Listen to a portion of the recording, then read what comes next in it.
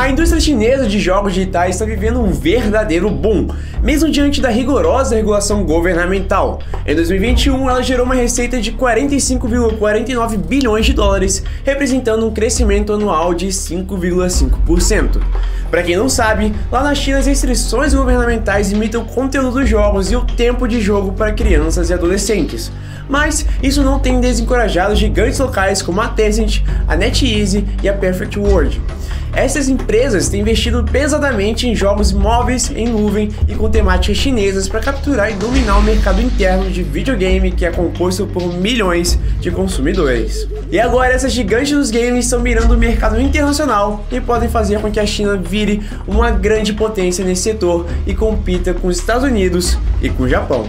Meu nome é Lucas, o seu apresentador de hoje, e agora vamos falar sobre o poder da China no mercado de games e os jogos chineses mais hypados do momento. Mas antes, já deixa aquele seu like para dar uma fortalecida aqui no nosso trabalho, e caso você esteja gostando dos vídeos, se inscreva também. Estamos quase chegando aos 5 mil inscritos e precisamos da sua ajuda para bater essa meta. E claro, confira também a nossa plataforma, o newage.gg. Lá você poderá competir em seus esportes favoritos por premiações diversas, além de poder acompanhar notícias diárias do mundo mundo gamer e de cultura pop em nossa aba de notícias. Confira lá newage.gg, o link está na descrição. Agora, vamos pro vídeo.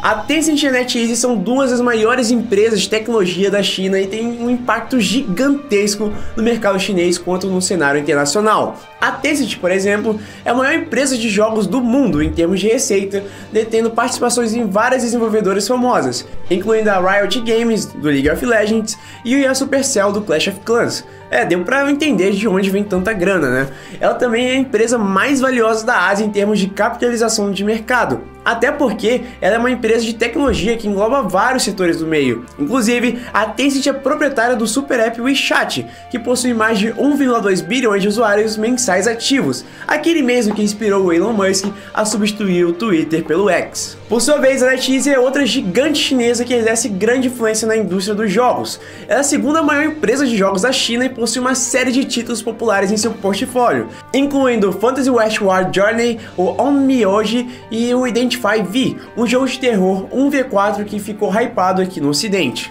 Tipo. Qual é que tu joga mesmo? Esqueci. O... Dead tipo Dead by Daylight. Ou o jogo do Jason, né? Do Sexta-feira 13. Mas é melhor que o Dead by Daylight.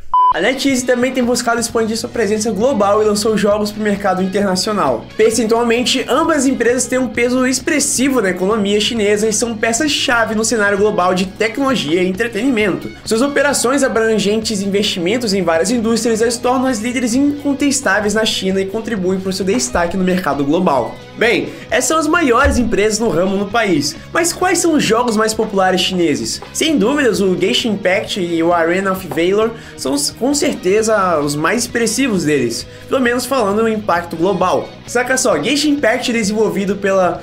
Porra... Mihoyo? Mihoyo? Como que fala isso? Não sei. Mihoyo. Mihoyo? Mas é ro ou yo? Não sei. Me roiou ou me oiou? Não sei. Me enrolei. Genshin Impact, desenvolvido pela MiHoYo, é um RPG de ação de mundo aberto que viciou jogadores em todo o mundo com seu design de mundo e mecânica de jogo muito inspirados em Zelda Breath of the Wild, mas para dispositivos mobile e com uma história bem mais profunda. Desde seu lançamento em 2020, o jogo se tornou um fenômeno global, com mais de 40 milhões de jogadores registrados. Só para vocês terem uma noção, o game teve um lançamento de 100 milhões e em sua primeira semana de lançamento arrecadou 60 milhões em microtransações, superando quatro vezes o custo de produção no primeiro mês. Inclusive, Genshin Impact foi o maior lançamento internacional de um jogo chinês até o momento, quebrando a percepção de que os jogos chineses não poderiam alcançar um sucesso global.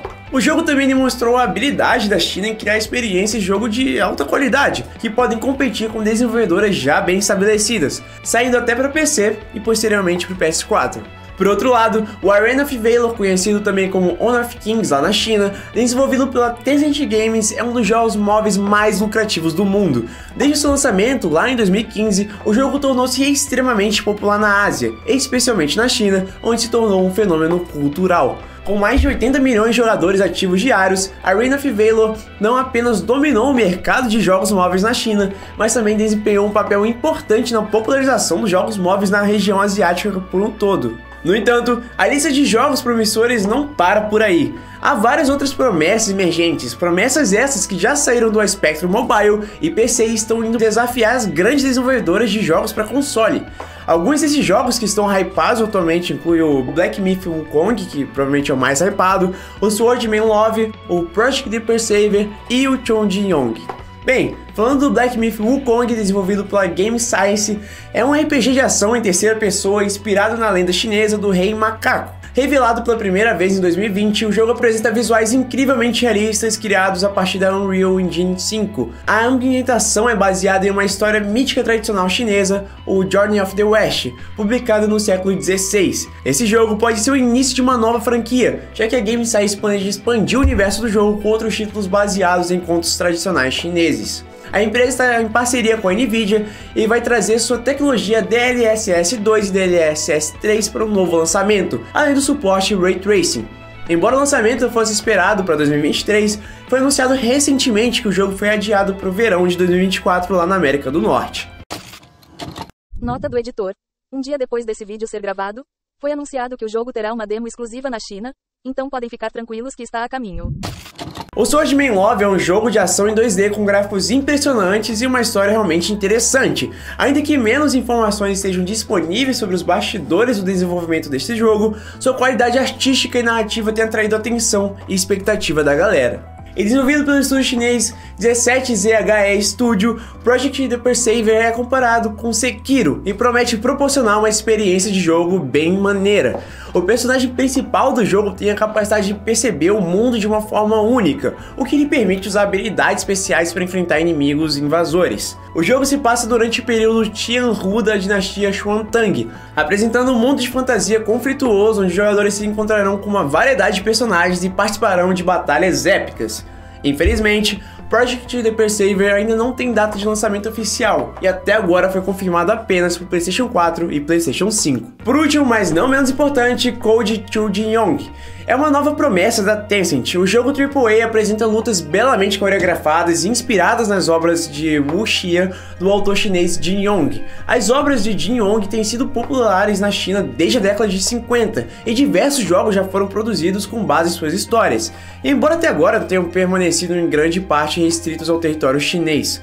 Com o lançamento do Code de Chongjin-yong, a Tencent busca expandir o alcance dessas histórias além das fronteiras chinesas, e o combate desse game hypou a internet absurdamente. Bem, como vimos, a indústria de jogos na China está se expandindo para além dos jogos móveis. Até no competitivo eles são extremamente expressivos, sendo a maior audiência de campeonatos do mundo, com o Estado e empresas privadas como a Tencent investindo bilhões por ano e até mesmo na realização de eventos, tendo o Mundial de LoL sediado no país, em Macau, região autônoma da China considerada como a capital mundial dos jogos, por apresentar regulamentações diferenciadas que tornam o jogo legal, diferentemente do resto da grande China.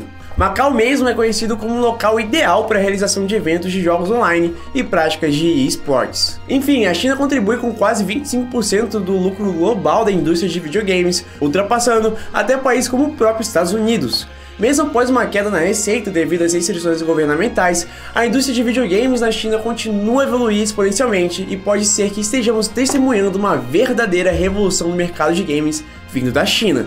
As desenvolvedoras ocidentais vão ter que cada vez mais superar para continuar no topo. Bem, por hoje é só, pessoal. Me peguei pensando nessas promessas chinesas e resolvi desenvolver melhor esse contexto e trazer para vocês. Caso tenham gostado, deixem aqui o seu like e comentem se ainda estão hypados pro Black Myth Kong. Bem, por hoje é só, pessoal, e até logo!